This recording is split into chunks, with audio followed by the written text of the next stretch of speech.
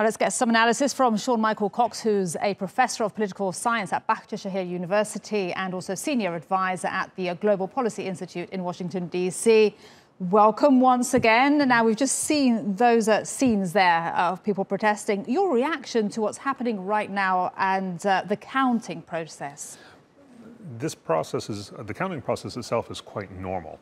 In fact, the states that are in question right now are moving to count faster than they normally would.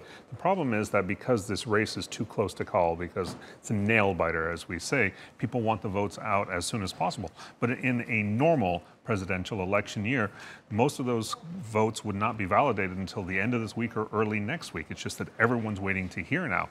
And to see the, these crowds protesting outside of, of vote counting centers is very interesting because the initial reports that I saw were actually armed citizens trying to guarantee or protect the vote in the sense that there, there would be no fraud, but I don't know what they would get from standing outside looking inside of the people protesting.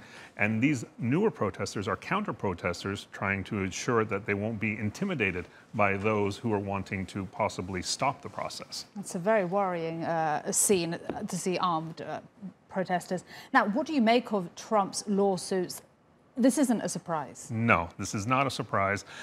Just based on what we know Donald Trump in general, he's a big fan of lawsuits. From his years as a real estate developer and a businessman, he, he filed dozens, if not hundreds, of suits for reasons mostly to muddle up the issues, whatever it may have been. If it was um, housing issues or was development issues, if it was uh, tax or whatever issues, he's very, very fond of basically throwing whatever he can at the wall to gum up the process, see what sticks.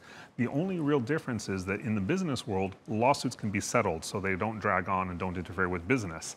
They cannot be settled in, in the political environment like the United States elections. There has to be a process that has to go through first, and then there, it can go to the courts if needed.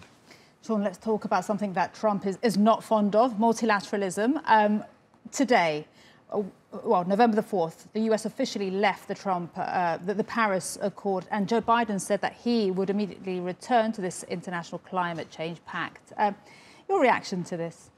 It's not surprising. One of the fundamental shifts that Donald Trump has carried out uh, as in his time in office is he's turned U.S. foreign policy and U.S. foreign relations into bilateral transactional relationship.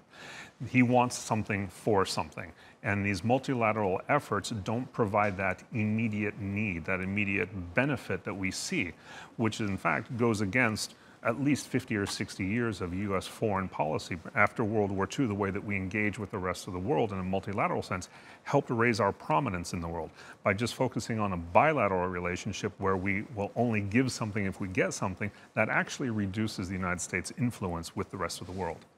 We'll leave it there for now. Sean Michael Cox, thank you very much once again. Pleasure.